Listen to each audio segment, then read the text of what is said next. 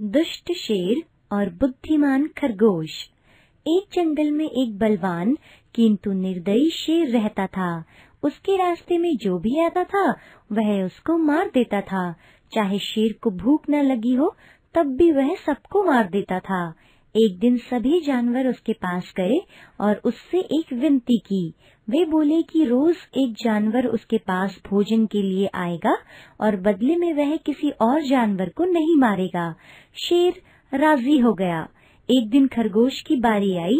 खरगोश बहुत बुद्धिमान था उसने शेर के पास पहुँचने में बहुत देर लगाई। जब शेर ने पूछा तो खरगोश बोला कि उसे रास्ते में एक दूसरे शेर ने रोक लिया था, जो अपने आप को जंगल का राजा बता रहा है। शेर को बहुत गुस्सा आया। उसने कहा, जंगल का राजा तो मैं हूँ। कहाँ है वह दूसरा शेर? मुझे उसके पास ले चलो। खरगोश उसे एक कुएँ के पास ले गया और पानी में उसकी परछाई दिखाई। शेर ने सोचा, यही वह दूसरा शेर है। शेर अपने दुश्मन को मारने कुएँ में कूद गया और डूबकर मर गया। जंगल के सभी जानवर बहुत खुश हुए और उन्होंने खरगोश की खूब प्रशंसा की। शिक्षा, मुसीबत में धैर्य न खोकर